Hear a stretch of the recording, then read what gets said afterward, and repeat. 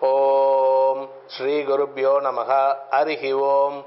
உலகெங்கிலும் வாழ்ந்து கொண்டிருக்கும் ஹெட்லைன்ஸ் டிவி நேயர்களுக்கு உங்கள் வேத ஜோதிடர் பிரகாஷ் நரசிம்மன் வழங்கும் தமிழ் மாத ஜோதிடம் ஆணி மாத ரா- ராசி பலன்கள். இந்த மாதாந்திர ராசி பலன்கள் அனைத்தும் பொது பலன்கள் மட்டுமே.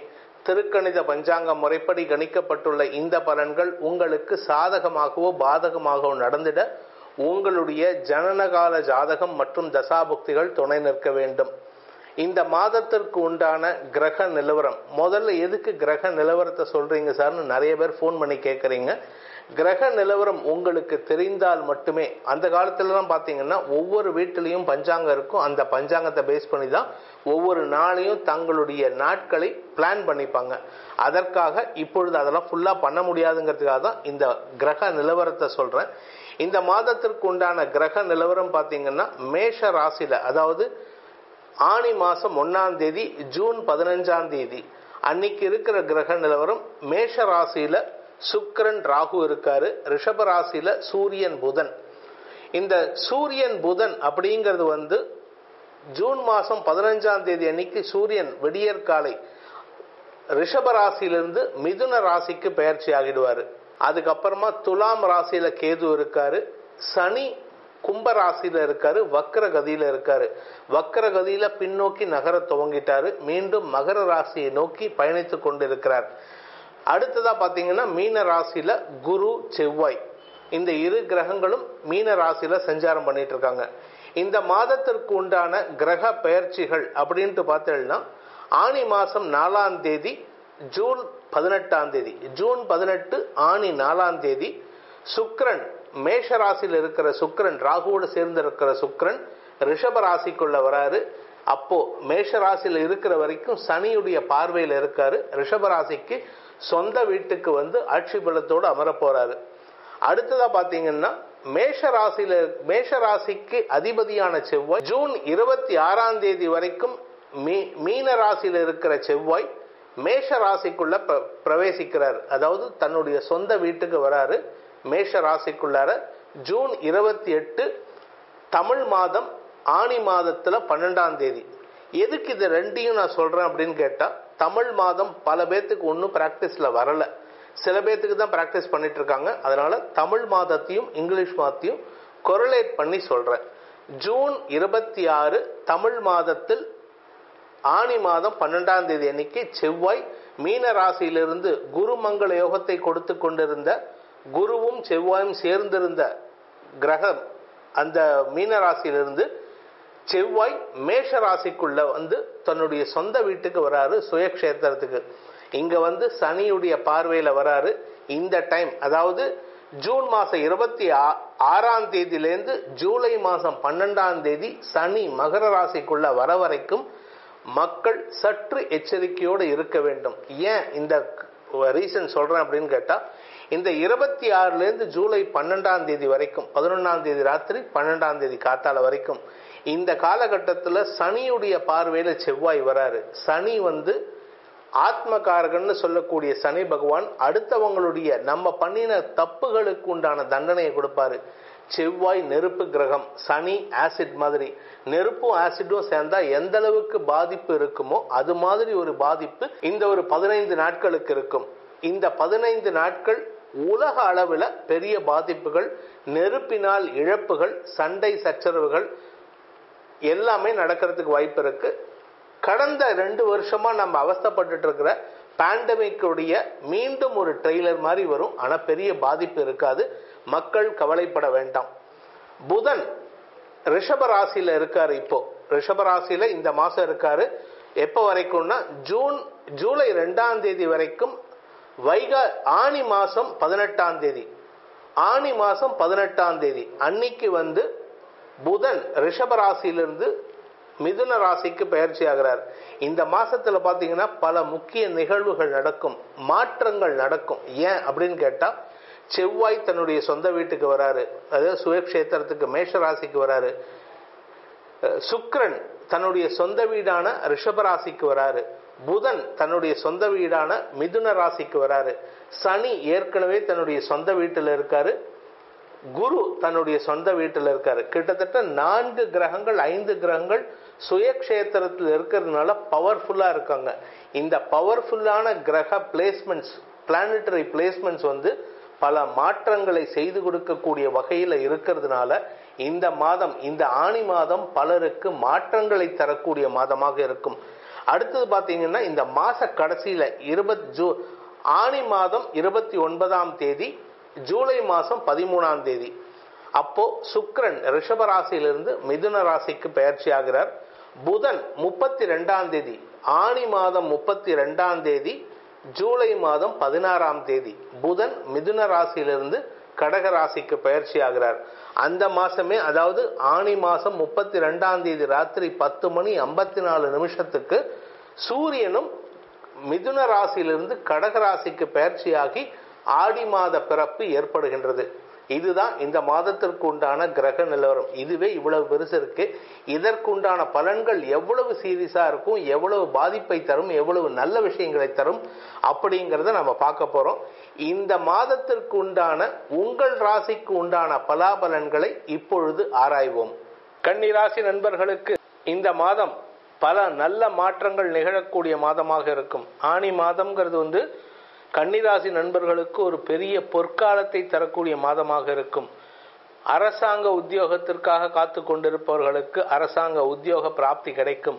சொந்தமாக தொழில் துவங்கணும்னு நினைக்கிறவங்களுக்கு அரசாங்க சப்போர்ட் கிடைக்கும். நல்ல நண்பர்கள் உதவி கிடைக்கும். இப்படி எல்லா எல்லாமே கிடைக்கும் கிடைக்கும் கிடைக்கும்னு சொல்லக்கூடிய மாதமாக இந்த ஆணி மாதம் இருக்க போகிறது ஆணி மாத கடைசி வரைக்கும் உங்களுக்கு பிரச்சனை கிடையாது. ஆணி மாத கடைசியில் மட்டும்தான் ஒரு சின்ன சிக்கல் வரும். என்ன சிக்கல் அப்படின்னு கேட்டால் உங்களுடைய கடந்த கால கடன்கள் சில சிக்கல்களை ஏற்படுத்தும். கடைசி நேரத்தில் வந்து உங்களை பணம் கட்டு பணம் கட்டுன்னு சொல்லுவாங்க. அந்த டைமில் உங்ககிட்ட பணம் முடை ஏற்படும்.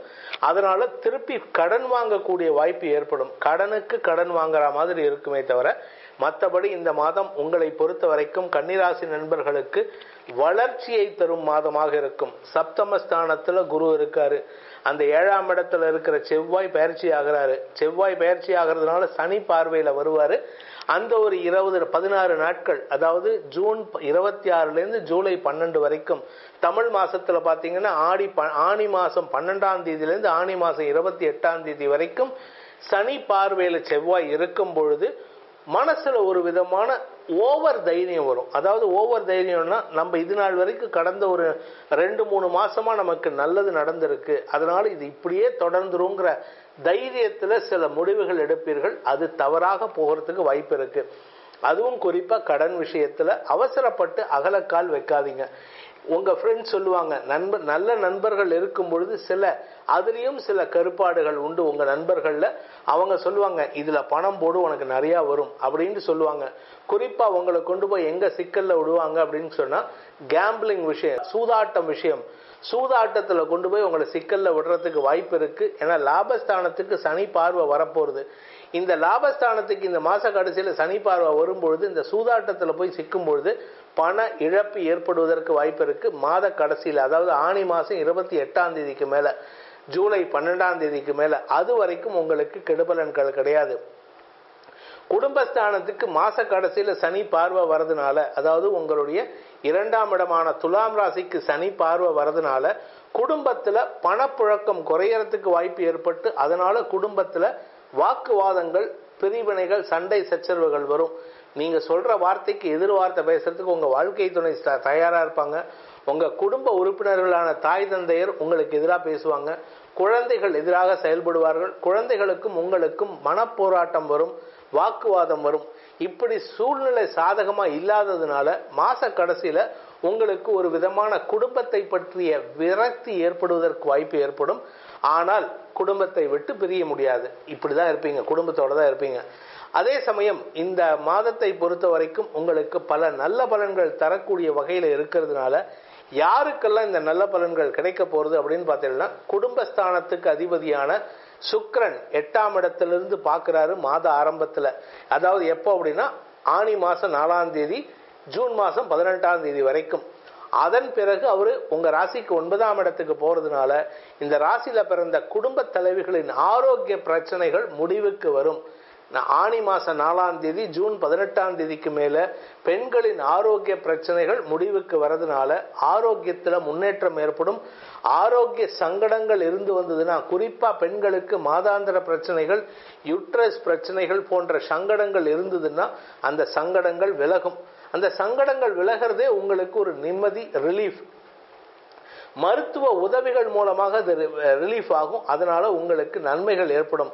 ஆரோக்கிய முன்னேற்றம் ஏற்படும் ஃபர்ஸ்ட் ரெண்டாவது வாழ்க்கை துணையின் தரம் உயரும். வாழ்க்கை துணை இது நாள் வரைக்கும் உங்க வாழ்க்கை துணை ஒரு மீடியாக்கர் பிசினஸ் பண்ணிட்டு இருக்காரு மீடியாக்கர் இன்கம் இருந்ததுன்னா இந்த மாசத்திலிருந்து அவருடைய வளர்ச்சி உங்கள் கண்ணுதில் தெரிவதற்கு வாய்ப்பு ஏற்படும். குடு குடும்பத்தில் சந்தோஷம் வரதே அவருடைய வளர்ச்சியினால்தான். சார் அவர் வளர்ச்சி ஆனால் எனக்கு பணம் வருமே சார் அப்படின்னு ஒரு கேள்வி வரும். ஆனால் அந்த பணம் வருவதை காட்டிலும் உங்கள் குழந்தைகளின் சிக்கல்கள் பெரிதாக ஏற்படுவதற்கு வாய்ப்பு இருக்கு.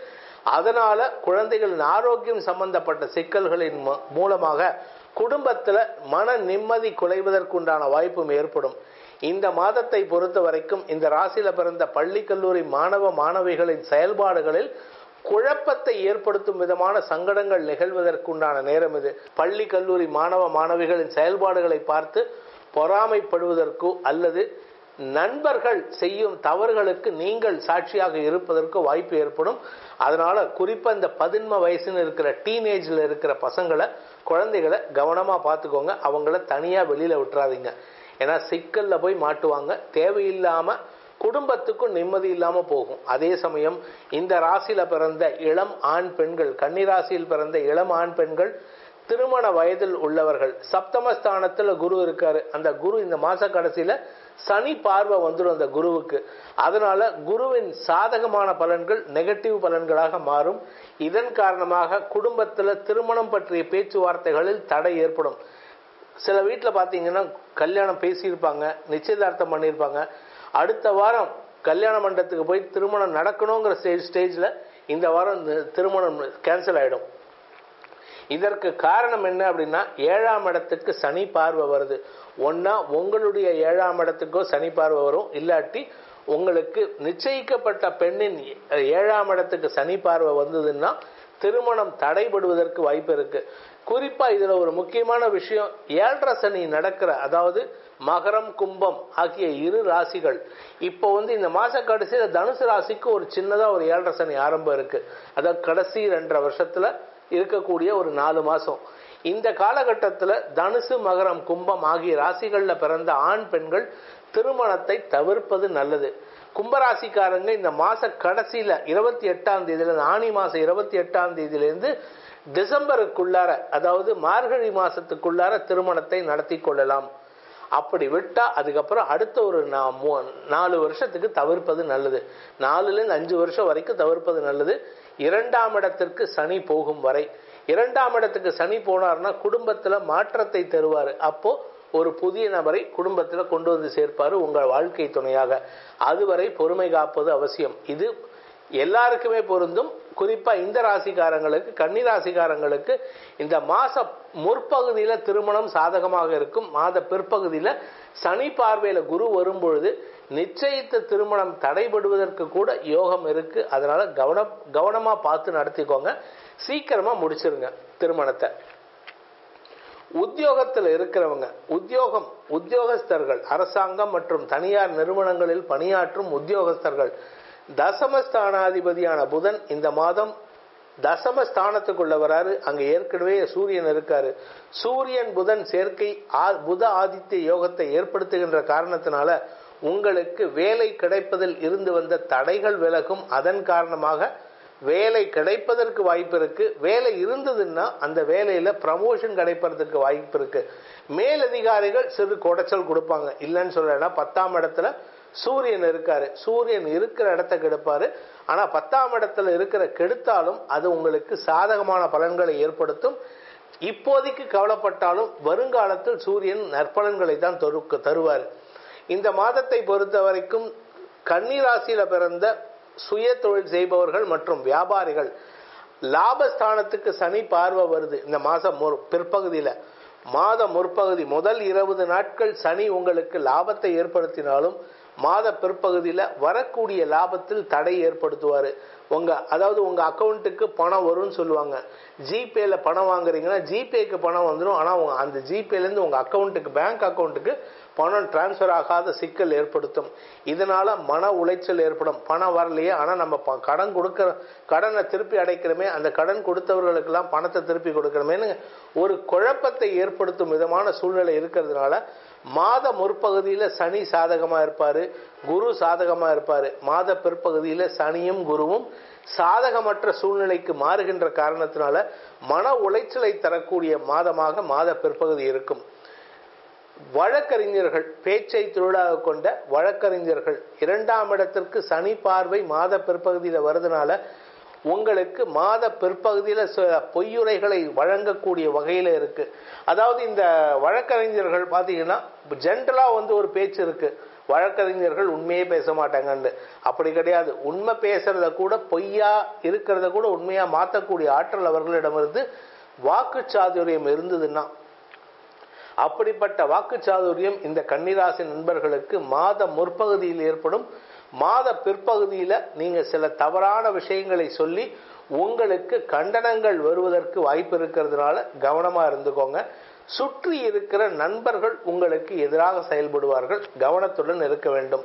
பொதுவாக இந்த மாதத்தை பொறுத்த வரைக்கும் பூமி தொடர்பான தொழில் செய்கிற கன்னிராசி நண்பர்கள் ரியல் எஸ்டேட் பிஸ்னஸ் பண்ணுறவங்க கன்ஸ்ட்ரக்ஷன் பிஸ்னஸ் பண்ணுறவங்க சுரங்கம் தோண்டுபவர்கள் சுரங்கத்தை வச்சிருக்கிறவங்க கற் கற்களை உற்பத்தி செய்யக்கூடிய க்ரஷர் வச்சிருக்கிறவங்க விவசாய நண்பர்கள் இவர்களுக்கெல்லாம் எப்படி இருக்குது அப்படின்னு பார்த்தா நான்காம் இடத்திற்கு விரயஸ்தானமான மூன்றாம் இடத்திற்கு குரு பார்வை இருக்குது மாதம் முற்பகுதி மாதம் முழுவதும்.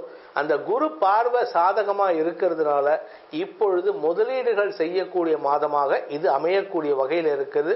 ஸ்திர சொத்துக்கள் வாங்குவதற்குண்டான யோகம் ஏற்படுது. இம்மூவபிள் ப்ராப்பர்ட்டி தாராளமாக வாங்கலாம். வண்டி வாகன வகையில் மாற்றங்கள் செய்கிறமா தாராளமாக பண்ணுங்கள் புதுசாக கார் வாங்குறீங்களா? தாராளமாக போய் புக் பண்ணிட்டு வாங்க. இந்த மாதம் உங்களுக்கு புதிய கார் அமைவதற்குண்டான யோகம் ஏற்படும். பொதுவான பலன் பார்த்துட்டீங்கன்னா இந்த மாதம் கன்னிராசி நண்பர்களுக்கு நல்ல பலன்கள் இருக்குது சில சின்ன சின்ன சங்கடங்கள் இருக்கும். ஆனால் ஆரோக்கியம் அப்படின்ட்டு பார்த்தா ஆரோக்கியத்திற்காக நீங்கள் உங்களுடைய ஆரோக்கியத்திற்காக பெரிய செலவுகள் இல்லை. ஆனால் செக்கப் பண்ணிக்கிறது நல்லது. நான்காம் இடத்ததிபதியான குரு ஏழாம் இடத்துல இருக்காரு. இந்த மாத கடைசியில் சனி பார்வையில் வரும்பொழுது தேவையில்லாத செலவுகள் ஏற்படும். அதுவும் குறிப்பாக பார்த்தீங்கன்னா பெண்களாக இருந்தால் அடிவயிற்று பகுதியில் பிரச்சனை இருக்குது ஆண்களாக இருந்தால் முதுகு தண்டு வடத்தில் பிரச்சனை இருக்குது அந்த இடத்துக்கு மட்டும் மருத்துவத்தை பார்க்கறது நல்லது. வண்டியில் அடிக்கடி ட்ராவல் பண்ணுறவங்க கொஞ்சம் ஜாகிரதையாக போங்க. அடிக்கடி ட்ராவல் பண்ணுறதை அவாய்ட் பண்ண முடியலன்னா ட்ராவலிங் சிஸ்டத்தை மாற்றிக்கோங்க டூ வீலரில் போகாமல் காரில் போகிறதோ பஸ்ஸில் போகிறதோ சாலை சிறந்தது. இதுதான் ஆரோக்கியத்திற்கு உண்டான இம்பார்ட்டன்ஸ் கொடுக்கறது. இந்த மாதத்திற்கு உண்டான கன்னிராசி நண்பர்களுக்கான பரிகாரம் அப்படின்ட்டு பார்த்தீங்கன்னா ஆரோக்கியத்திற்கு முக்கியத்துவம் கொடுக்கணும். பொதுவான பலன். குறிப்பாக நண்பர்களால் சில சங்கடங்கள் வருகின்ற காரணத்தினால கிருஷ்ணர் வழிபாடு செய்வது சிறப்பு. கிருஷ்ணரை எப்படி வழி எப்படி வழிபடணும் அப்படின்னு கேட்டால் கிருஷ்ணர் ருக்மணி இணைந்த கோலத்தில் அப்படி அந்த மாதிரி ஒரு கோலம் இருக்கு. அதாவது ருக்மணின்னு சொல்லலாம். அதாவது எப்படின்னா எப்படி அர்த்தநாரீஸ்வரர் வந்து சிவபார்வதி ஐக்கியமோ ருக்மணி பார்வதி ருக்மணி கிருஷ்ணர் ஐக்கிய ஸ்வரூபம் தான் வந்து சம்மோகன கோபாலன்னு. நெட்டில் சர்ச் பண்ணீங்கன்னா கிடைக்கும். சம்மோகன கோபாலன் மந்திரம்னு. கிருஷ்ணம் கமல பத்ராட்சம் திவ்யாபரண பூஷிதம் திரியங்கு வலிதாகாரம்னு ஆரம்பிக்கும் அந்த ஸ்லோகம்.